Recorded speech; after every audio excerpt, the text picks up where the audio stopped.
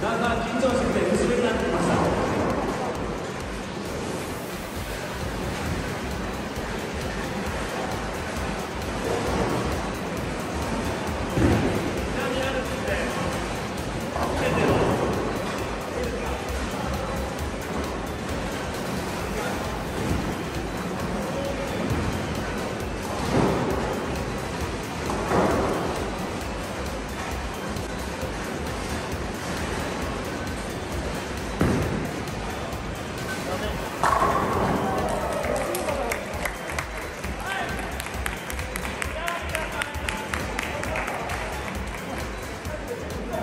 半にある時点で初めてのパーフェクトが使うよねあと1球です。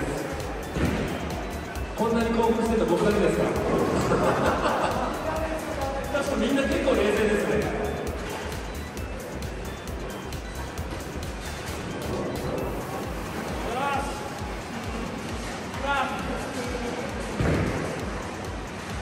さあ、頑張ってください。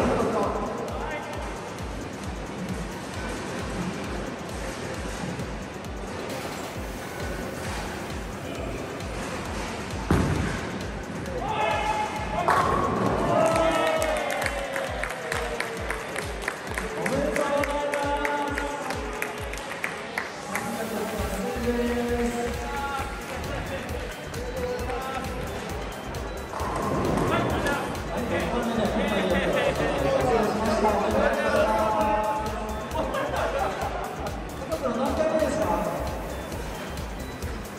アルプスでは8人目です。